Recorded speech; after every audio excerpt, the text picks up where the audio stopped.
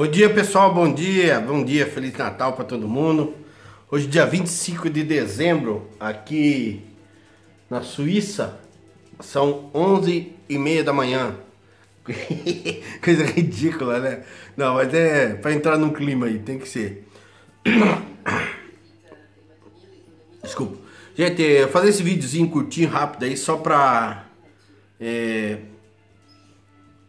desejar a todo mundo um Feliz Natal e um próspero Ano Novo para todos os meus amigos. Eu peço só desculpa de não poder responder um por um de todas as mensagens, que são muita gente. É, eu tenho dois Facebook, cada um tem 5 mil pessoas. Eu tenho 67 mil seguidores no, no, no YouTube, mais de 3 mil e poucos seguidores no Instagram e no Twitter. É, para quem tem uma rede social assim bastante curta, limitada, fica fácil você se comunicar com cada um, tal, desejar feliz Natal. Mas para mim é muito difícil. É, eu fico orgulhoso porque são muitas pessoas que mandaram mensagens. É, se eu for ficar citando o nome de todo mundo para cada um, vai ficar um vídeo de duas, três horas desejando feliz Natal individualmente para cada um. Mas pode ter certeza que eu li a sua mensagem, que eu estou lendo, que eu vou ler a sua mensagem, embora eu possa não corresponder, é, mas eu leio e essa mensagem é para você que me mandou mensagem no Facebook, no YouTube, no Instagram, no canal Diário de Bordo de um Caminhoneiro no YouTube, é, para todos vocês, para cada um, assimila essa mensagem como se fosse para você. Feliz Natal, saúde, boas festas e blá blá blá blá blá. Que Deus abençoe realmente cada um dentro do seu universo espiritual. É, eu não sei falar coisa muito bonita, mas o que eu estou falando é de coração.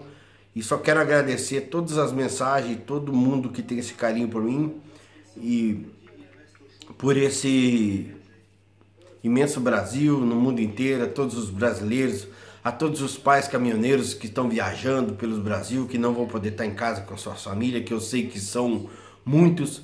Já passei Natal dormindo em virada de posto, todo mundo festejando e eu lá no meu caminhão sozinho. É, ano novo, já passei, eu sei como é difícil isso, mas faz parte. A gente quando escolhe essa profissão, a gente tem que estar pronto para esse tipo de coisa. Então é é relativo, é muito muito ruim. Eu sei que tem muitos pais e muitas famílias que não estão com seus pais hoje, com sua mãe, que são as caminhoneiras, que estão envolvidos no transporte, são motorista de ônibus, que tem que trabalhar, motorista de táxi, que tem que trabalhar, de ambulância, é, por todo o Brasil, todos os estilos motorista, é, que hoje tem que trabalhar e não pode estar presente com a sua família. Eu desejo um Feliz Natal, um Feliz Ano Novo e que esse Brasil depende da gente, então a gente não pode parar. Enquanto uns fazem festa, estamos na estrada rodando e passando essa situação e mas é relativo. A gente vive no mundo, escolheu esse destino e tem que que passar por isso. Feliz Natal para todo mundo que me mandou mensagem, que me desejou Feliz Natal. Eu tentei deixar a barba crescer aqui para ver se parecia um pouco mais com o Papai Noel. Botou mais para. eu vai para aparecer para mandarim que para Papai Noel. Não. Então tem umas branquinhas aqui, ó. Mas não deu não. Deixa eu tirar essas que está tá muito feio, né?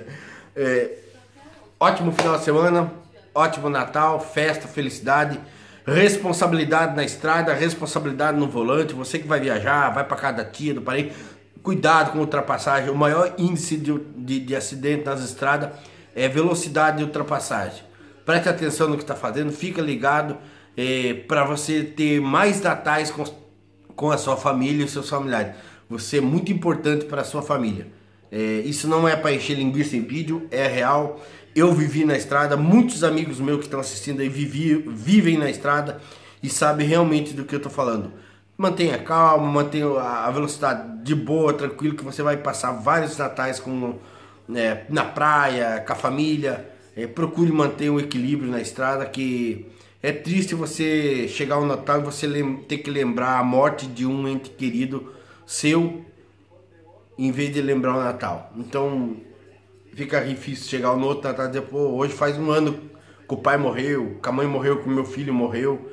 É triste. Então vai devagar.